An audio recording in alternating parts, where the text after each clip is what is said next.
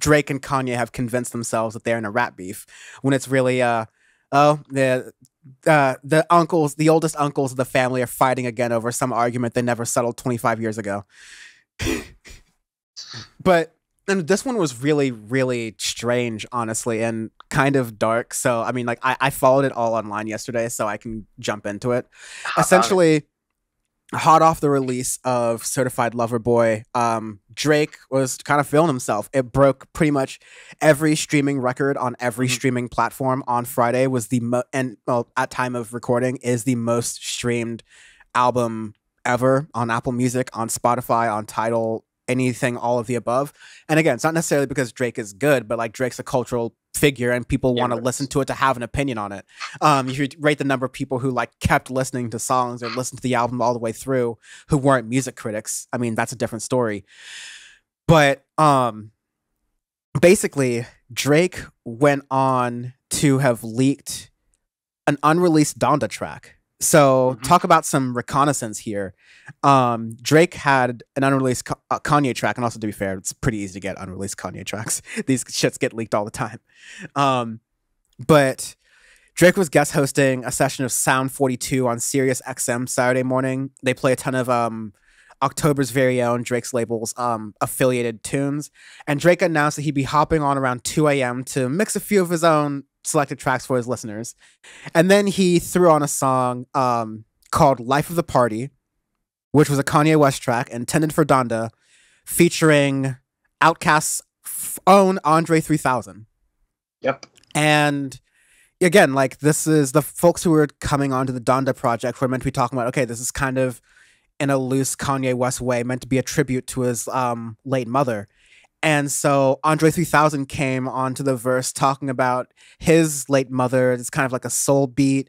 Um, and it's really heartfelt and well done. Like uh, a lot of people were saying online, like if the Andre 3000 um, feature was on Donda, it would have been probably the best feature on there. And not to say because like Andre 3000 is just like one of the best contemporary musicians of our time, but um, it, it, it was a pretty good track.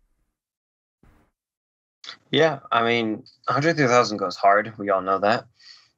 Um, but it's just, it, it's funny how he wanted to do, like Drake wanted to do this to, to kind of clown on Kanye, and it just went absolutely ass backwards because everybody liked the track, both of us included.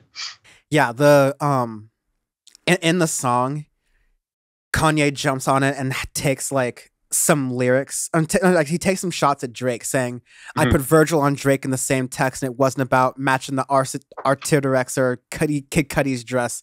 Just told these grown men stop with the funny shit, etc., etc. blah blah blah." Um, but this story gets so much deeper because Andre 3000 spoke out on like, "Hey man." and, and, it was it was a really like good um like kind of statement that I want to get to. So he says, and I'm reading now. A few weeks ago, Kanye reached out about me being part of the Donda album. I was inspired by his idea to make an album uh, to make a musical tribute to his mom, and it felt appropriate to me to support the Donda concept by referencing my own mother who passed away in 2013. We both share that loss. I thought it was a beautiful choice to make a clean album, but unfortunately, I didn't know that was the plan before I wrote and recorded my verse. It was clear to me that an edited, clean format of the verse would not work without having the raw original also available. So sadly, it had to be um, omitted from the original album's release. So that part right there is kind of like more of like an editing note about the um, verse itself, because like what um, Kanye had was like, a, what Drake had was a leaked, unfinished version, but more yeah. referencing like the stuff that was said and kind of the existence of it, it itself.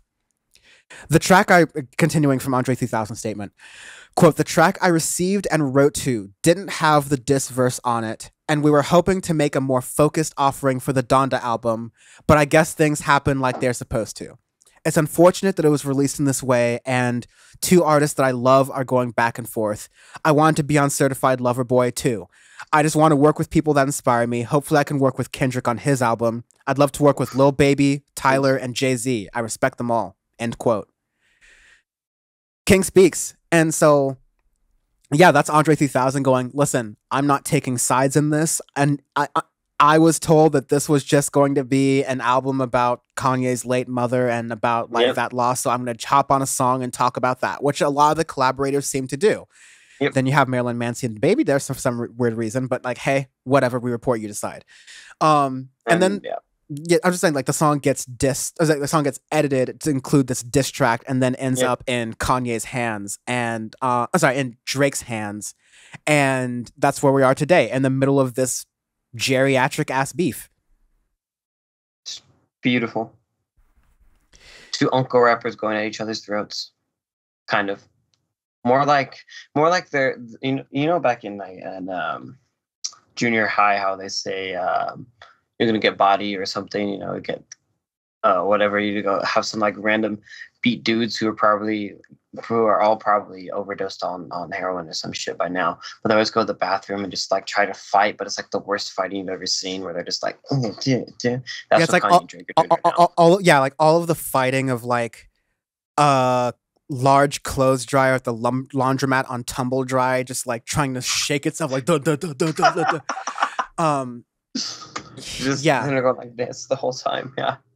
I, I think something I said about this was like this rap beef has fewer bars than prohibition. Like it's just it, it's there's no there's no passion in this rap beef. There's no panache. This is where's where's the panache? No, but really like there's I'm not supposed to feel any fight in Kanye West or Drake's story. Like their beef is two successful people beefing about some stuff that is not really relatable, doesn't have to do with yeah. family or relationships. It's just, you know, slight reputational things that this is America. People have already made their opinions on the reputational stuff anyways. So, um, overall, just really mid tier beef. And I'm glad that Andre 3000 managed to take the high road out of that and, you know, like express himself like in the right way and say, like, listen, I want to work with anyone and everyone. I am in it for the love of the game, truly.